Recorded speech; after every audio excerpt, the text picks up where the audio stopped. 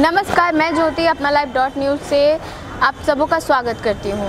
दोस्तों, आज हम लोग कार्यक्रम शुरू हो रहा है, जिस कार्यक्रम का नाम है अपना धरोहर। अपना धरोहर के पहले एपिसोड में बिहार की राजधानी पटना में खड़े हैं और पटना के अगम कुआ स्थित माता शीतला के मंदिर में है। माता शीतला के मंदिर की कुछ रोचक कहानियाँ हैं और यहाँ पे जो कुआँ स्थित है, उस कुएँ का नाम है अगम कुआँ जिस अगम का मतलब होता है पाताल। और लोगों का कहना है कि यहाँ से की कहानियाँ उतनी ही पुरानी है जितनी पुरानी यहाँ का इतिहास। यहाँ का अगम कुआँ सम्राट अशोक के टाइम से जुड़ा हुआ है। और अगम कुआँ की जो कुछ मान्यताएँ हैं, कुछ कहानियाँ हैं, जो अनसुलझी रोचक कहानियाँ हैं, आप लोगों को मैं आज बताऊँगी। तो आइए चलते हैं यहाँ के पंडित जी से जानते हैं और देखते हैं कि यहाँ के कुआँ की और यहाँ के मंदिर की क्या मान्यता है। आइए हम लोग जानते हैं यहाँ के पंडित जी से यहाँ से जुड़ी कुछ मान्यताएँ रहस्य। पंडित जी यहाँ की मंदिर की जो मान्यता है वो किस प्रकार है? मान्यता यही है को जिनको बाल बच्चा नहीं होता है और कुआँ है अशोक सम्राट का बना हुआ है ये माता शीतला है।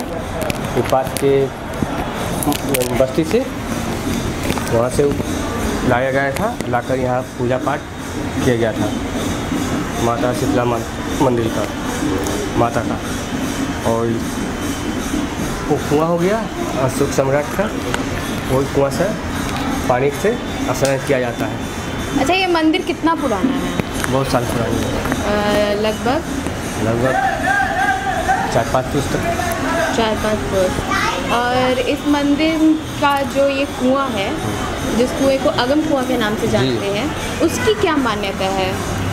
इस कुआँ से जिसको औरत वाणी को बाल बच्चे नहीं होती है वो कुआँ के पानी से स्नान स्नान करने पे यहाँ से विधि बताया जाता है विधि करना पड़ता है वो विधि पूरा हो जाता है उसके बाद माँ गोद भर देती है। अच्छा ये कुआँ जो है इस कुएँ का मतलब कुछ इतिहास है। जैसे कि लोग बोलते हैं इस कुआँ का जो पानी है वो पाताल तक जाता है।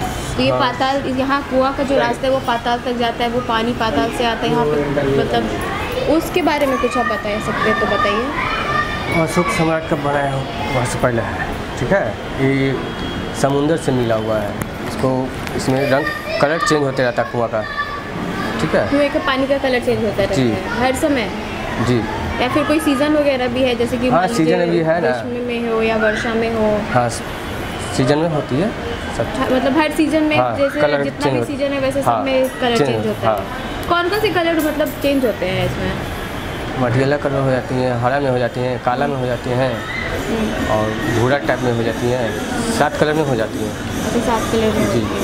तो फिर ये कुआँ का जो इतिहास है लोग बोलते हैं सम्राट अशोक के टाइम से है। तो अपने- कुएँ के बारे में कुछ कहानी अशोक सम्राट अपने निन्यानवे भाई को काट कर इसी कुआँ में डाले थे। हाँ? अशोक सम्राट हाँ। अपने निन्यानवे भाई को काट कर इसी कुआँ में डाले थे। अच्छा इसी कुआँ में डाले। थे उससे और कुछ जो मतलब जो इतिहास को आप यहाँ पे गवाह करे मतलब कुछ जो कहानी हो वहाँ की वो आप कुछ बताइए उसका सम्राट अशोक के टाइम की जो कुएँ कुएँ से जुड़ी हो सारी कहानियाँ।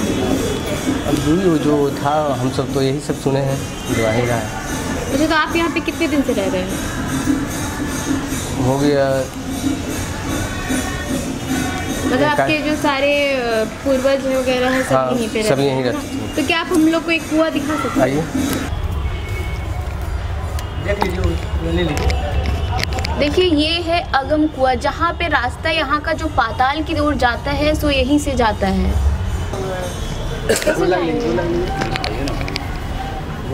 जाइए। चलिए आइए। अरे वहाँ उसमें तुम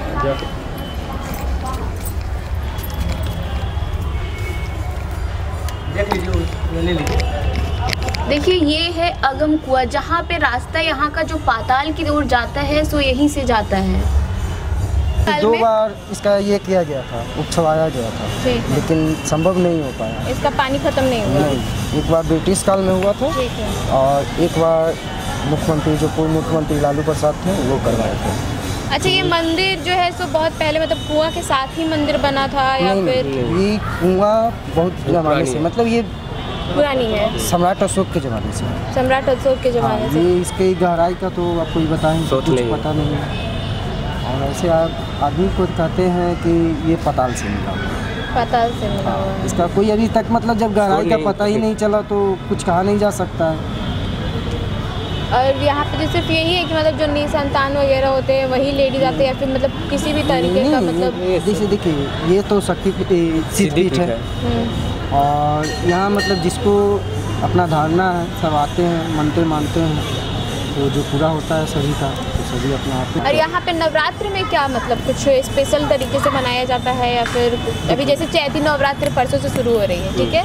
तो उसमें क्या यहाँ का कार्यक्रम है? मतलब शुरू से लेके नौ नौ दिन का जो कार्यक्रम है वो किस प्रकार है? नौ दिन यहाँ दीप जलाया जाता है। कलश बैठाया जाता है। कलसा स्थापना होता है। जी। और फिर दसवीं को उसका विसर्जन हो जाता तो यहाँ पे कुछ अलग जैसे कि लोगों से मैंने सुना कि यहाँ की जो नवरात्र है वो अलग तरीके से मनाया जाता है। तो नवरात्र में ऐसा क्या अलग होता है है माता शीतला का जो है उनको जो भोग का प्रसाद लगता है ना उनका प्रसाद होता है बासी। मतलब जैसे पूरी हो है खीर गुलगुल्ला ये सब जो चढ़ाया जाता है ना वो इनका स्पेशल प्रसाद है। मेन प्रसाद उनका मतलब ठंडा प्रसाद होना चाहिए। बासी। मतलब जैसे कि ठंडा होना हाँ चाहिए इनका प्रसाद मतलब रात गर्म नहीं होना चाहिए। तो- ये जो माता है ये घर में जो माता निकलती है चिकन पॉक्स जो कहते हैं आप लोग चेचक कहते हैं वो माता है। तो इनको जो भी है ये ठंडा ही इनको चाहता है। अच्छा ठंडा ही चढ़ाता है। बस हाँ। और नवरात्र में बस इतना ही हाँ नवरात्र में जैसे तीनों टाइम मतलब कि सिंगार होता है आरती होता है। कलशा स्थापना तो होगा ही जो मतलब ये पूजा पाठ है। पूजा पाठ जो जैसे होता है सभी यही सब वैसे तो आप लोगों ने देखा कि आज यहाँ पे अगम कुआ में अगम कुआ के कुएँ के बारे में रहस्य जो थी उन्होंने आज पंडित जी ने आज हम लोगों को सबको बताया।